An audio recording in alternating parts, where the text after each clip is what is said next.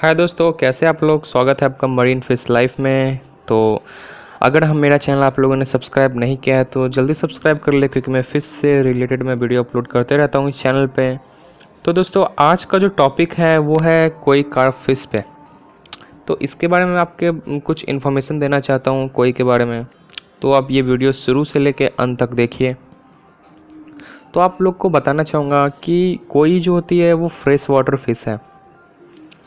वो एक fresh water fish है, ठीक है? और दूसरा कि अगर इसको आप फ़ीड देना चाहते हो तो फ़ीड में आपका हिकारी का बेस्ट फ़ूड रहेगा, कोई के लिए दाना रहता है। तो ऐसे तो बहुत सारे दाने आते हैं कोई के लिए। वैसे तो मैं अगर बात करूँ तो हिकारी ठीक रहेगा कोई के लिए। उसका जो कलर है वो जल्दी ग्रो करता है उस फ़ूड से। और नेक्स्ट है कि कोई जो फ़िश है कोई कार्प जो फ़िश है उसको टेम्परेचर की कोई ज़्यादा ज़रूरत नहीं रहती। जैसे आम फिशेस को होती है कि ठंड के दिन टेम्परेचर लगा दो तो उसके लिए कोई मतलब ज़्यादा ज़रूरी नहीं है। जैपनीज़ को एक लिए ज़्यादा कोई ज़रूरी नहीं है टेम्परेचर का। तो ठंड पानी में भी रह सकती है और गर्म हल्का गर्म पानी में भी रह सकती है। और नेक्स्ट है कि अगर अगर आ, मतलब आपका एक्वेरियम छोटा है तो आप कोई फ़िश नहीं रख सकते। आज अगर आपको जब भी कोई फ़िश पालना है छः इंच से बड़ा तो आपको बहुत बड़ा साइज़ का एक्वेरियम लेना होगा। कम से कम फाइव फिट का एक्वेरियम ले आप। अगर आप छः इंच से बड़ा पालना चाहते हैं तो। छः इंच तक ठीक है, आप तीन फिट में पाल सकते हैं। उससे अगर बड़ा तो पॉन्ड का ज़रूरत पड़ेगा, या फिर आपको बड़ा एक्वेरियम का ज़रूरत पड़ेगा। ये चीज़ ध्यान रखिएगा। और नेक्स्ट टॉपिक है, आपका जो कोई फ़िश का जो वाटर है, वो क्रिस्टल होना चाहिए। क्रिस्टल वाटर होना चाहिए, एकदम साफ़ सुथरा, कोई अमोनिया नहीं होना चाहिए इस वाटर में। मतलब कोई गंदगी नहीं होना चाहिए। साफ़ सुथरा पानी होना चाहिए कोई के लिए। ठीक है, और नेक्स्ट है कि आपने कभी अपने एक्वेरियम में देखा होगा कि आपकी जो कोई फ़िश है, वो अगर आपने एक्वेरियम में छोटा पत्थर रखा होगा तो आपने देखा होगा कि ये छोटा छोटा पत्थर जो है अपने मुँह से उठाती है और फेंकती है, मुँह से उठाती है और फेंकती है साइड में कर देती है। तो इसका आपका डेकोरेशन भी ख़राब हो जाता है प्लस और आपका जो मैं इसका सलाह दूँगा आप बिग स्टोन रखिए, छोटे साइज़ के पत्थर की जगह जो है आप बिग साइज़ का स्टोन रखिए अपने एक्वेरियम में तो वो ठीक रहेगा। और नेक्स्ट है कि अगर आपका कोई कार्प छः इंच से बड़ा है तो उसको मिनिमम टू दो से लेके छः एम का फ़ूड आता है, दाना आता है, वो आप इसको खिला सकते हैं।